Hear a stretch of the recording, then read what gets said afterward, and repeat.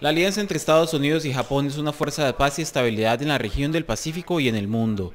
Mientras me preparo para el encuentro con Kim Jong-un, quiero resaltar el hecho de que el primer ministro y también el presidente Moon de Corea del Sur fueron de gran ayuda y cooperación y esperamos ver que algo bueno pase en Corea del Norte, Corea del Sur, Japón, Estados Unidos y para el mundo.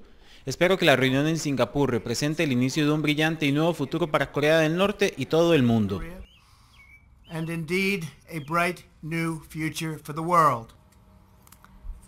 In five days, US North Korea Summit. En unos días la reunión entre Estados Unidos y Corea del Norte se llevará a cabo. Primero, quiero ofrecer mis respetos para el gran trabajo de liderazgo realizado por el presidente Trump al tomar esta decisión que ningún otro presidente había tomado.